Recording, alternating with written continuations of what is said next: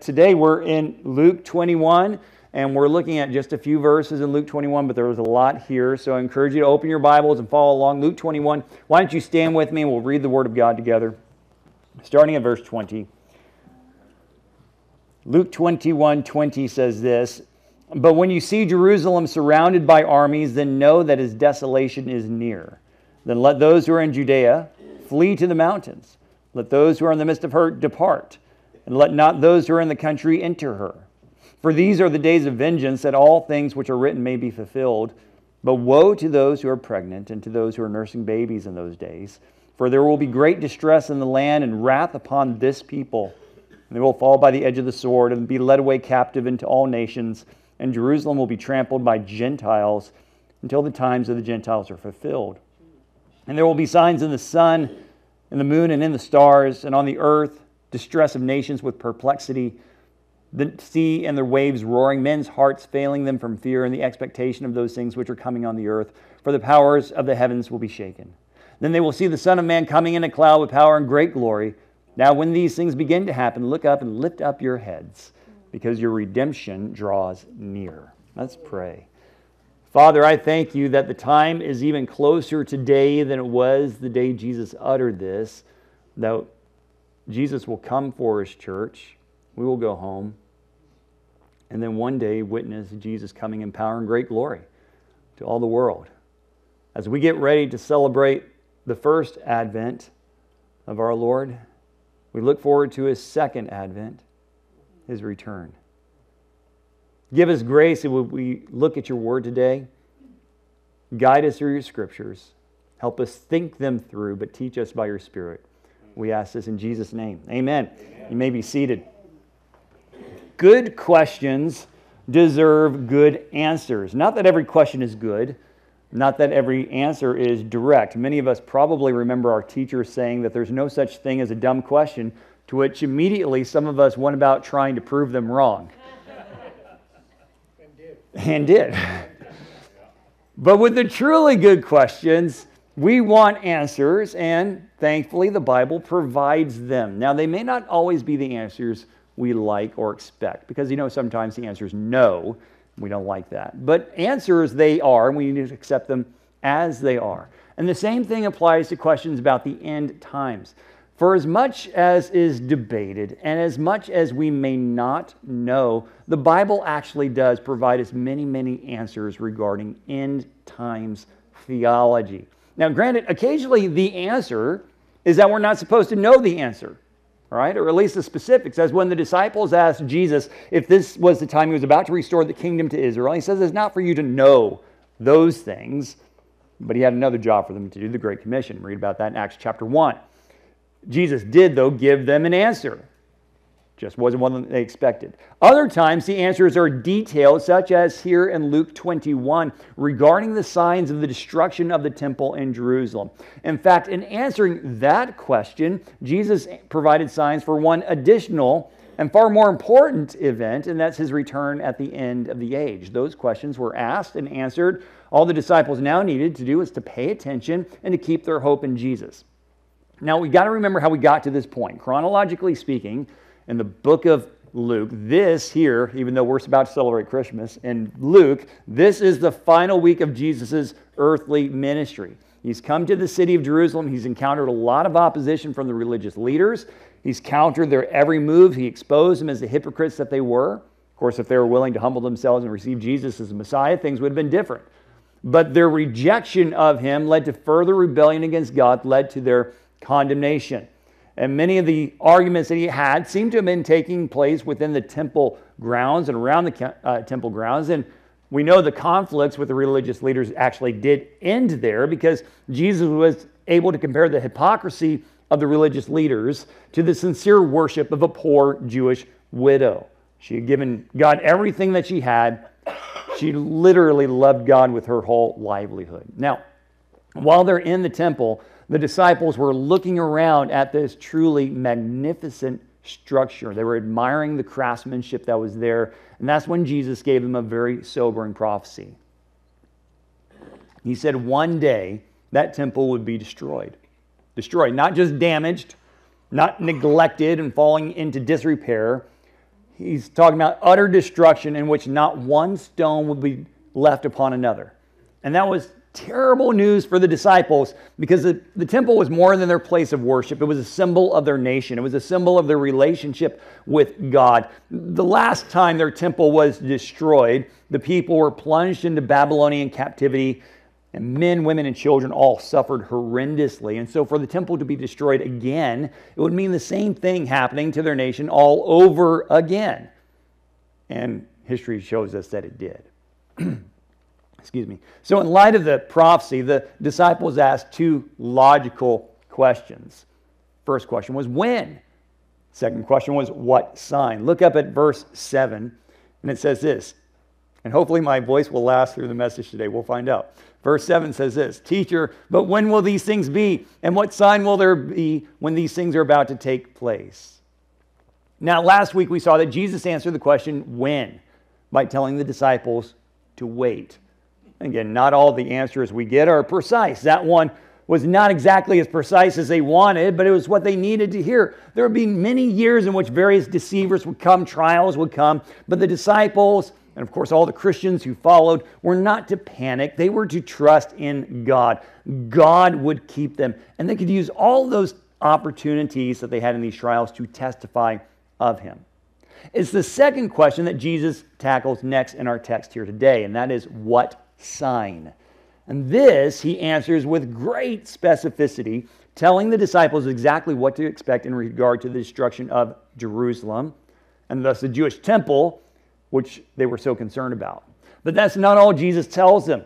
He says, yes, their city and their temple would be laid to waste, but their hope would not. Because when their faith is in Christ, their hope is not in a physical temple, it's in the Son of God. When our hope is in Christ, we have hope in our redemption, and that's true hope indeed. So we want to wait for him and watch for him. So it's two basic parts here. First is the signs of Jerusalem's destructions. We start in verse 20. But when you see Jerusalem surrounded by armies, then know that its desolation is near. Now stop there because if the disciples are looking for a sign, Jesus just gave them one, and this one was going to be crystal clear. When they could look over the city walls and see Jerusalem completely surrounded by armies, that was the sign the desolation was at hand. Unlike at other times in Jerusalem's history, where the city was miraculously delivered by God, such as when an angel of the Lord appeared and destroyed 185,000 Assyrian soldiers overnight, that wasn't going to happen this time.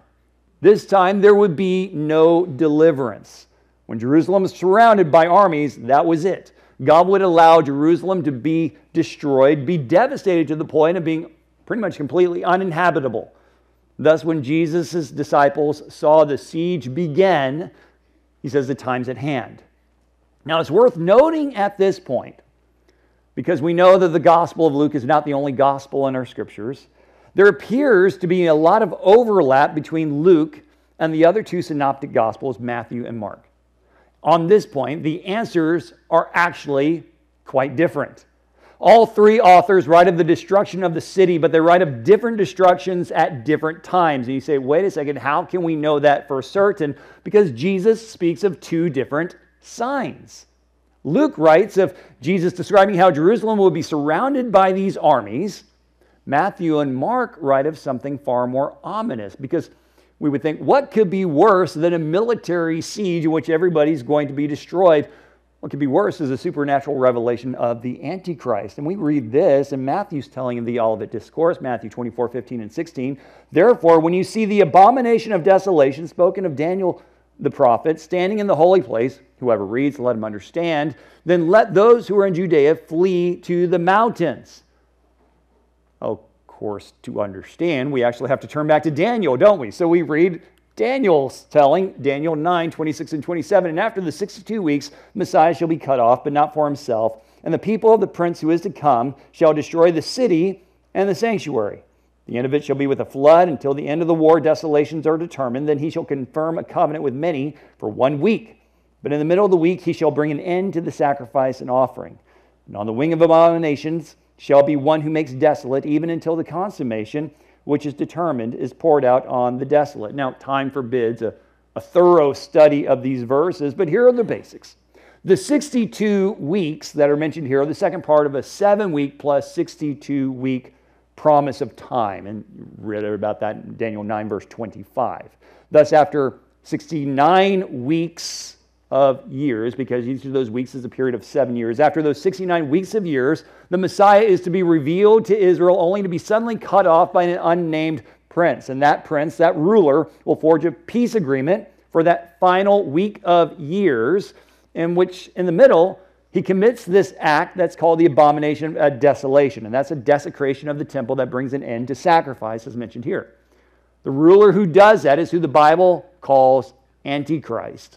And that act is the singular act pointed to by Jesus in the book of Matthew as being the precursor to terrible destruction. That ought to get our attention. But in Luke, that act is not mentioned at all.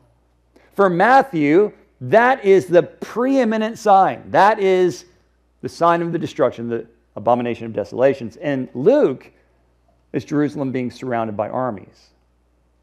Two different signs. Question Couldn't both gospel writers still be writing about the same general event? Well, to answer, we need to look at history.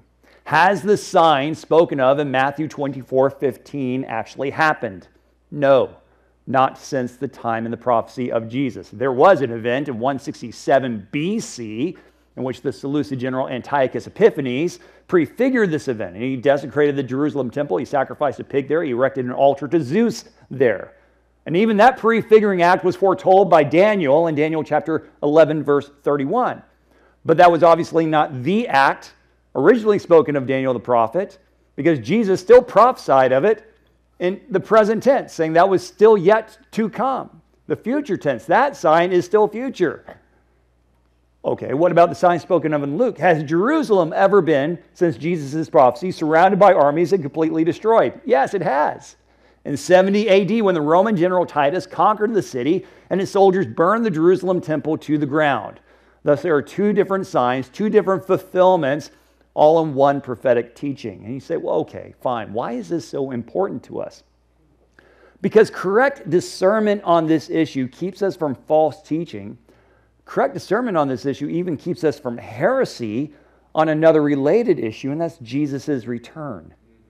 See, when it comes to the timeline of prophetic fulfillment, we might look at it as a continuum that reaches one direction into the past and another direction into the future. And we can point to a lot of prophecies that have already been fulfilled in the past. For instance, the prophecies concerning Jesus' birth, his resurrection, his crucifixion, all those, the coming of the Holy Spirit, all of those have been fulfilled. We've seen those things already. There are other prophecies, though, that point to the future. Jesus' return, the new heavens, the new earth, the eternal state, those are all yet to come. All right, continuum of thought. Now, among theologians, there's a school of thought called preterism, which teaches that all biblical prophecy is already fulfilled. In other words, anything that the Bible said was going to happen has already happened. And to a full preterist, that includes all the prophecies of Jesus' return. To a full preterist, we're in the new heavens and the new earth right now, which I got to say is pretty darn disappointing if you look around at the culture. Now, that extreme form of preterism is downright heresy. There's no other way to describe that because it teaches that Jesus has already returned when in fact he has not. Now, a more moderated view, one that is very common in Christianity today, is called partial preterism, which sees most of prophecies, with the exception of Jesus' return, as being already fulfilled. And they point to prophecies such as Luke 21, verse 20, as proof. They claim that since it is a historical fact that Jerusalem was indeed surrounded by enemies and conquered, and because this came in the midst of Jesus' teaching on the Mount of Olives, that the prophecies of all the Olivet Discourse have been fulfilled. Now, that's not necessarily a heretical view, but it is false teaching. It is incorrect.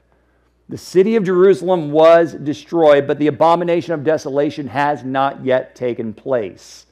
Jesus gave one series of prophetic teaching, but he spoke of two times of great distress for Israel one for their immediate present, the Roman conquest, and one for the far future, the Great Tribulation. Now, I understand that this may seem like the weeds of theology, and it's just something debated by scholars and ivory towers and seminaries. This is actually very important for all of us. How so? Because this helps us keep our hope in Christ. Recognizing what has already been fulfilled gives us confidence regarding what is yet to be fulfilled. Wrapped up in all of this is what? Jesus has promised to rapture his church so that where he is, we may be also. John 14, 3. Wrapped up in all of this is a biblical guarantee that the church is not appointed to face the wrath of God.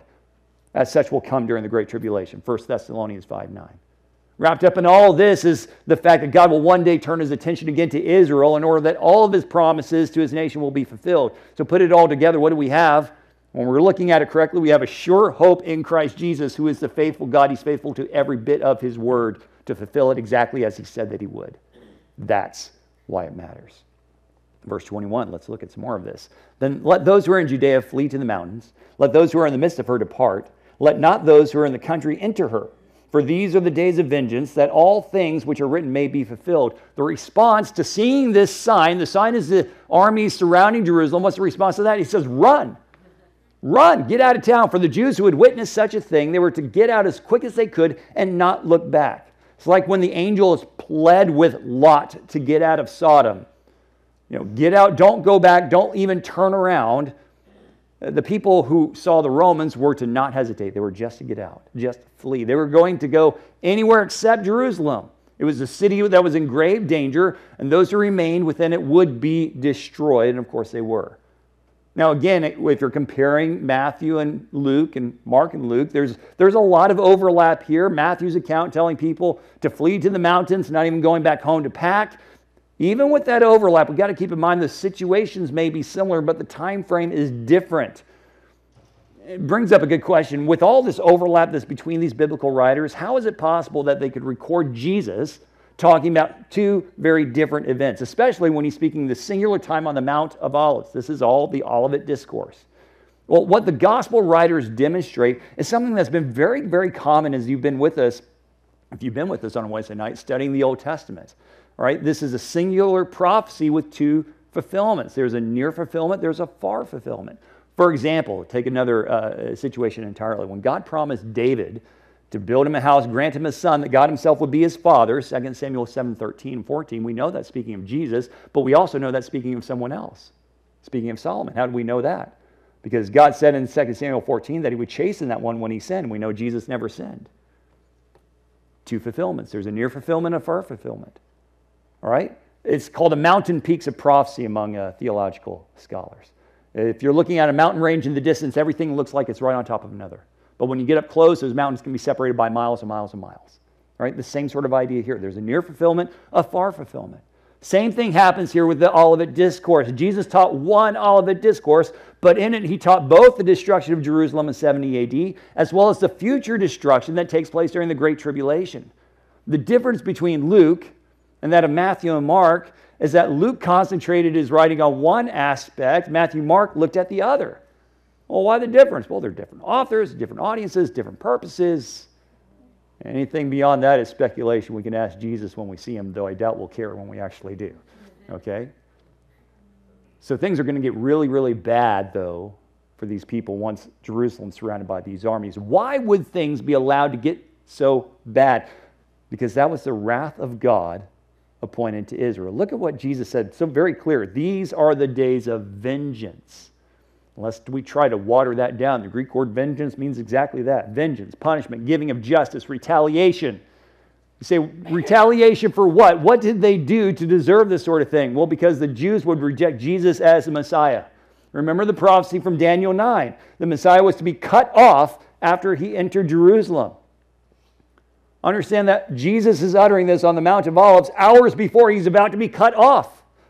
Right? This was about to be fulfilled right before their very eyes in a matter of hours. He, as the Messiah, had entered Jerusalem exactly according to the timeline of prophecy. At the end of those 69 weeks of years, he would soon be cut off when the Jews delivered him over to the Romans to be crucified.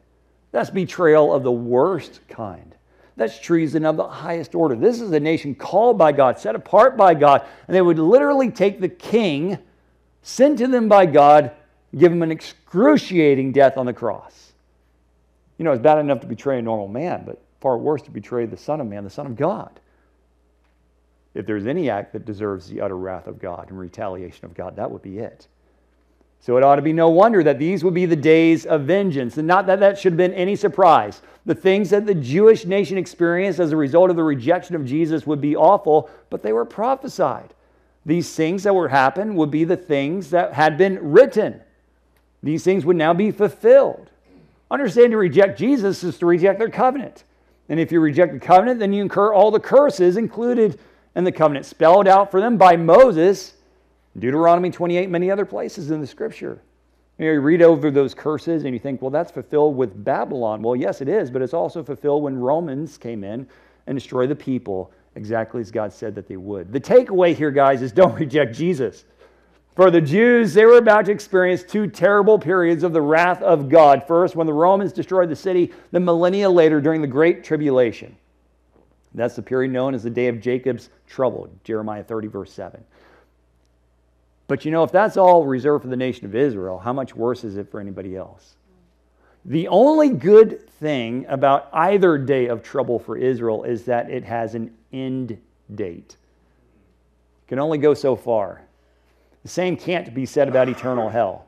Those who ultimately reject Jesus will face something far worse than the great tribulation. They will endure the wrath of God for all eternity, his righteous response to our sin against him. That's not God's desire for us. God wants us to be saved, and we can be saved. We just need to turn to Jesus. But speaking about the trials of those days, he goes on in verse 23 But woe to those who are pregnant and to those who are nursing babies in those days, for there will be great distress in the land and wrath upon this people. Why woe to the mothers? Because of how hard it is for them to move quickly.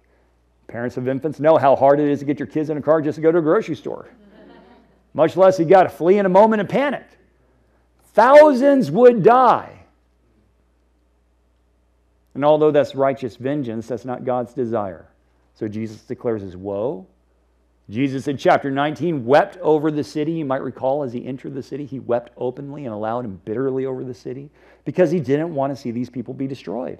Now, ultimately, their destruction is their choice because of their decision to refuse Jesus, just like anybody who ends up in hell has a choice not to but that's what they would face. By the way, please notice again, this is this people, and it says very specifically, great distress of the land and wrath upon this people. Uh, in other words, the Jews. Terrible time for Israel. One more indication he's referring to a different time than the Great Tribulation. How so? Because the Great Tribulation is not just for Israel, it's for all the world.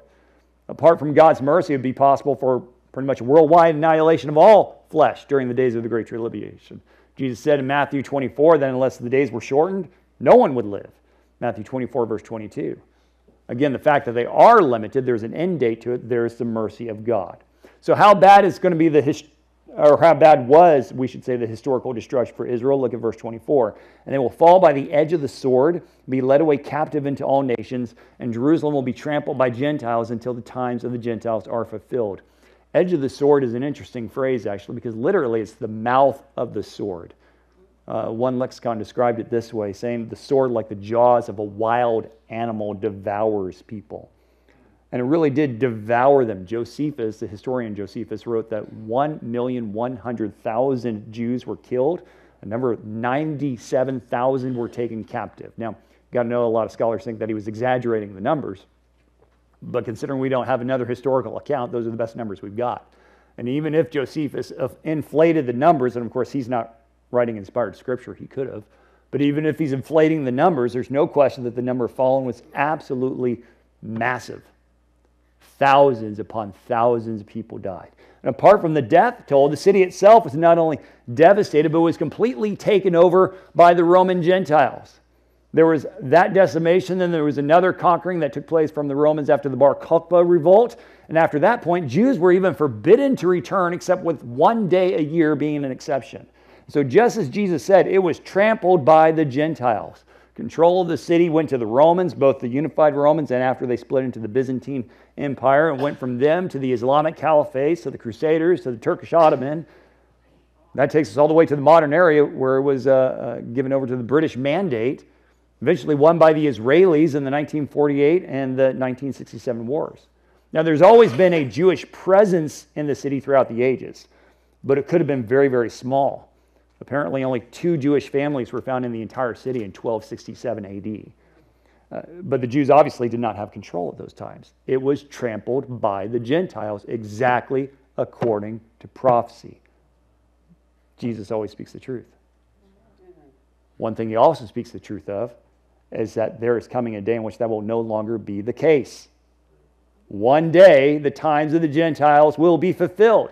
By the way, Paul seemingly wrote of this exact same thing when he's writing to the Romans. Romans 11, verse 25 through 27. For I do not desire, brethren, that you should be ignorant of this mystery, lest you should be wise in your own opinion, that the blindness in part has happened to Israel until the fullness of the Gentiles has come in.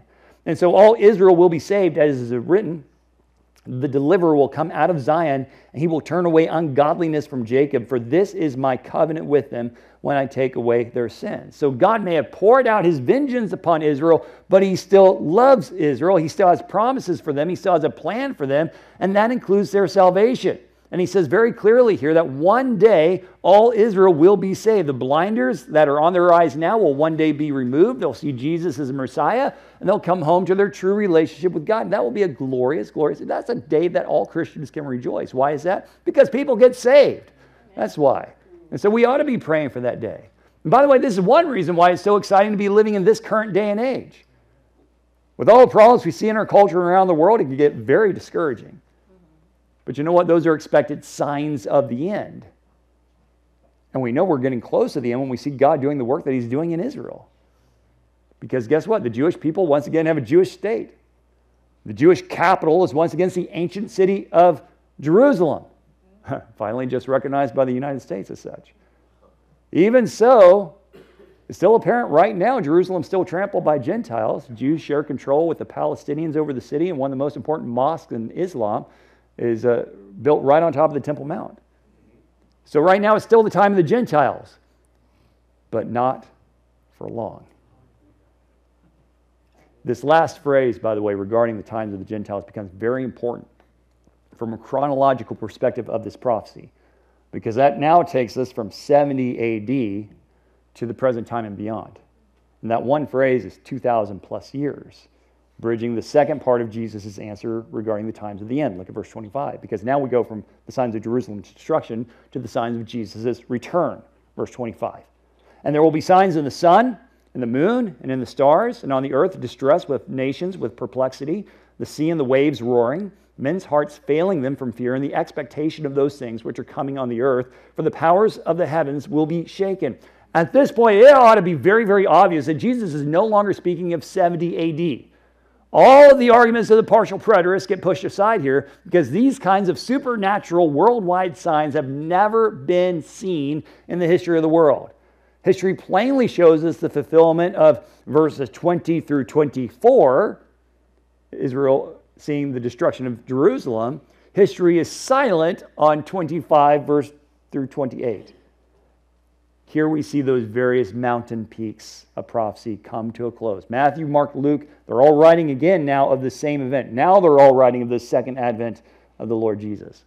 These sorts of cosmic signs are exactly what are prophesied to take place during the days of the Great Tribulation. One section we see this in Scripture is in the book of Joel. Now, Joel 2 is perhaps best known for Peter's quotation on the day of Pentecost regarding the outpouring of the Holy Spirit to explain how it was the disciples were speaking in tongues and prophesying. I read that in Joel uh, 2, verses 28 through 29. But the very succeeding verses, following verses, go on to speak of the various signs that take place in the heavens. We read Joel 2, verses 30 through 32. And I will show wonders in the heavens and on the earth blood and fire and pillars of smoke. The sun shall be turned to darkness, the moon to blood, before the coming of the great and awesome day of the Lord. And it shall come to pass that whoever calls on the name of the Lord shall be saved. For in Mount Zion and in Jerusalem there shall be deliverance, as the Lord has said, among the remnant whom the Lord calls. The Holy Spirit is poured out in this present day, but there's coming a future day in which all the physical universe will testify the imminent arrival of the Lord Jesus. And until that moment comes, the opportunity exists for anyone to be saved. You know, the days of the Great Tribulation will be awful. There will be much suffering. But each and every one of those trials during the Great Tribulation serves as a powerful witness to the reality of God. And every single time that someone witnesses a sign in the heavens, another meteor come, or the, the earth rolling in, in earthquakes and all the rest. Everything they see, there will be one more opportunity for someone else to turn to faith in Jesus and be saved. Every time they witness the fulfillment of prophecy is another extension of the mercy of God. God wants them to be saved, and He will make His offer as blatant as possible. Yet sadly, many will still reject His mercies. Not only are there signs prophesied, but so is the response of mankind. Uh, Jesus said here that uh, the men's hearts will fail them from fear Jesus emphasized this again in his uh, revelation to John. We read this in Revelation 6 12 through 17. I looked when he opened the sixth seal. Behold, there was a great earthquake, and the sun became black as sackcloth as hair. The moon became like blood. The stars of heaven fell to the earth as a fig tree drops its late figs when it's shaken by a mighty wind. The sky receded as a scroll when it's rolled up, and every mountain and island was moved out of its place. That ought to sound very familiar to what we just read in Luke 21 here. It says in verse 15 Then the kings of the earth, the great men, the rich men, the commanders, mighty men, every slave and free man, hid themselves in the caves and in the rocks of the mountains, and said to the mountains and rocks, Fall on us, and hide us from the face of him who sits on the throne and from the wrath of the Lamb. For the great day of his wrath is come, and who is able to stand? Praise the Lord. Many will come to faith. Book of Revelation tells us that. But mankind as a whole will continue to reject Jesus. They will recognize the day of his wrath, yet they will do nothing except run from him in terror. And no doubt they'll be terrified. Jesus describes in Luke 21 as their hearts failing them. Interesting word. It's the only time that the word is used in the New Testament. And it can speak of fainting, but it really points more solidly towards death a little tr- literal translation of the compound word speaks of away from life. That implies serious panic. We use the English terms hearts failing to describe terms that we see in the, in the Old Testament about a lapse in courage. Uh, when David w- alone had the courage to go fight Goliath, and everybody else in the armies of Israel, their hearts failed them. 1 Samuel 17 32. That's a lapse in courage. This word here applies and implies really to a physical collapse from fear, their life leaving them. As men and women witness the goings on of the Great Tribulation, they will experience such great perplexity, anxiety, such terrible fear, it will paralyze them. It will be evident of what's soon to come, and yet they do nothing except cower and faint. Now, that's them. It doesn't have to be anybody. Though men and women all over the world will fear the days of the Great Tribulation and flee the outpouring of the wrath of God on the earth, no single born again Christian will endure it. See, this is where the glorious promise of the rapture comes in. Before the Great Tribulation breaks out in full swing, Jesus will take us home to be with Him. He'll take us home away from the trials of this world. Now, understand this the promise of the rapture does not exempt any Christian from regular sufferings, trials, and tribulations. Those things just come with life. But it does exempt us from the future great tribulation. We suffer the regular course of the world today, but we will not endure the wrath of God in that day. As Paul wrote to the Thessalonians, the Lord Jesus at that day will descend from heaven and the trumpet of God, he'll call us up to be with him in the air. 1 Thessalonians 4 16 and 17. We escape the day of the great tribulation. That's the promise available to every single born again Christian. If you're not certain that you will be with Jesus at that time, you can be. You need to put your faith in him. Now, as terrible, again, we've mentioned this before, as terrible as it'll be, it'll come to an end. What will happen when those great cosmic signs have come to a close? Jesus says there'll be one last sign, and that will be Jesus himself. Look at verse 27. Then they will see the Son of Man coming in a cloud with power and great glory right here. This is the second advent. This is the second coming. This is the return of the Lord Jesus to the earth as he arrives with all the power and the glory of God. We mentioned it already. At Christmas, we celebrate the first advent. At that time, think how much humility it was Jesus arrived in. Born of a virgin mother, a young girl, she was most likely ostracized by her town as her betrothed husband, her engaged husband to be, took her in really as an act of mercy. They were young, they were impoverished, they had traveled the Judean uh, countryside to Bethlehem. Why? Because they're compelled to do so. They're obeying the, the command of a Gentile emperor. They had no power over that. She had no crib to, to lay the baby in. He had to be laid in an animal's feeding trough. Soon enough, they have to flee to Egypt as refugees away from the madness of King Herod. You know, if we were to write and invent the story for ourselves, we couldn't make the first advent any more humble than what's already in the scriptures. That's what Jesus came into. No one came in with a more humble birth than him. Yet that's not how his second advent will be. The second advent will be glorious, it will be powerful, it will be incredible. The world will not be able to deny it. The imagery is actually that from the book of Daniel, once more, Daniel 7 13 and 14. I was watching in the night visions, behold, one like the Son of Man coming with the clouds of heaven.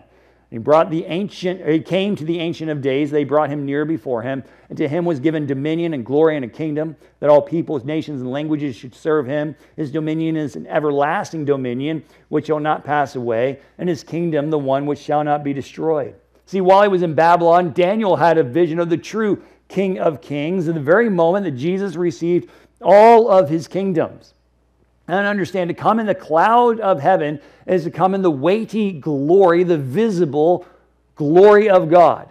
When Jesus led them through the wilderness, what did he lead his people with? Oh, he led them with the cloud of his glory. When Jesus descended on Mount Sinai, how did he come? He came with the cloud of his glory. When he blessed the original tabernacle and temple, took up the original sacrifices, what happened? The cloud of God's glory filled those rooms. When Jesus comes back, how will he come? And a cloud with power and great glory. By the way, that was confirmed to the disciples by the angel when they saw Jesus ascend to the heaven in a cloud. They said, He'll come back in the same way. Acts 1 9 through 11. He'll come back in the cloud. The point, guys, is our Lord is coming back and it's going to be awesome. And at that moment, we as His church will accompany Him as He leads us heavenly armies in victory over all the armies of Antichrist in the world. There'll be no person who can stand against him in that day. There's a single word from his mouth will call all of his enemies to fall. It will be unlike anything the world has ever yet seen.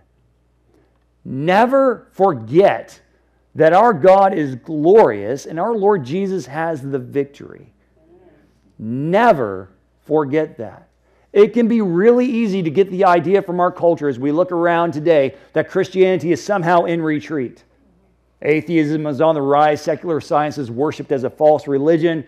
People are leaving the institutional church by the droves. Biblical morality is increasingly rejected. The Bible itself is pushed aside even by professing Christians. If our faith was driven by opinion polls, we'd have every reason to start taking antidepressants but it's not. Our faith is driven by the sure promise of the living God, and there's no doubt that his word is true. Jesus told us he would be rejected by the Jews, and guess what he was? Jesus told us he would go to the cross, and he was. Jesus told us he would rise from the dead, and he did. He told us that he'd send his spirit, build his church, equip us as his followers, which he had. He also told us that things would get worse before they get better, so that ought not be a surprise. But guess what? They're going to get a lot better. Jesus is returning. And when he does, it'll be victorious. How glorious the hope is for the born again Christian. He is our hope. And he's a hope that will never fail. Look at verse 28. Now, when these things begin to happen, look up and lift up your heads because your redemption draws near. Amen. Jesus looks ahead to the days of the Great Tribulation, you can say with utter confidence that the Jews and the Gentile saints of that time would have great hope because the nations of the world, their hearts would fail with fear, but those who are saved would see every passing sign as another step closer to the return of Jesus and the redemption. Now, for us, we as the church will be with Jesus during that time. But we can relate this prophecy to the current day, can't we? Because we look around our culture and our times, and although things look terrible, we can lift our heads in hope, knowing that the day is at hand. Our redemption draws near. Our redemption from sin is accomplished. Our redemption from this world will be complete when we see Jesus face to face. So Jesus answered the second question of his disciples, and when he did, he answered questions about his second advent. He gave them very specific things to watch for in the near future. He also spoke to generations yet to come what would await them prior to his return. Now, we got to look at the application in a couple different ways, right? Because there was immediate application to the Jews of that day. He warned them to get ready to get out, right? Because of the prophesied rejection of Jesus as the Messiah, that generation would face terrible vengeance. The Romans would come in to level the city. Thus, Jesus warned them to flee the destruction soon to come. Why the warning? Because although many would die, God did not want them to die. He warned them in advance. Far better than death was their redemption. They had the opportunity to be saved if they just humbled themselves, put their faith in Jesus. And it's the same with everybody. God takes no pleasure in the death of the wicked. He would much rather we turn from our wicked ways and live. Ezekiel 33 11. That's true for Jews and Gentiles alike. Many will be saved during the great tribulation. Their hope will be in the arrival of Jesus. The key don't wait that long. The sooner we're saved, the better. We're guaranteed a moment to see God. We just don't know when that moment will be. We don't want to wait till it's too late. Jesus has offered us his redemption. We need to hope in him today. Christian, born again Christian, what do we do? We hope in our redemption. Jesus is coming. Wait and watch. Let's pray. Father, thank you so much for this day. And thank you that our Lord Jesus is coming for us. I, I do thank you, Lord, that for every single born again Christian, we will be saved from the days of the Great Tribulation. It needs to come, it's prophesied to come, it will come. But not a single person has to endure it. You give a free opportunity for every single person to be saved. And so, Lord, I pray um, for all those in this room, all those who hear this message, that we would be among those who are counted worthy to escape those days, be taken home in the rapture of Jesus Christ. The only way we have that hope is when our faith is in Jesus Christ as our Savior, Lord, the one risen from the dead, the Son of God. Lord, for those of us who are saved, help us keep our eyes on Jesus. In Him we have hope. We don't need to get depressed by this world. We don't need to get panicked by this world. We just need to be steadfast with what you've given us to do, and that's to tell others of Jesus so that they can be saved as well. And Lord, we do pray for any who might be among us today who are not sure that, Lord, when you call the church home in the rapture, that they'll be included in the numbers. And I pray, Lord, that you would help them turn to you right now in faith, asking to be saved, turning away from their sins, declaring in their heart that they believe that Jesus truly is God in the flesh who died for them and rose from the grave. And give them, then, Lord, the assurance they need that they'll be included among your number in the family of God. Lord, we thank you. We pray these things in Jesus' name. Amen.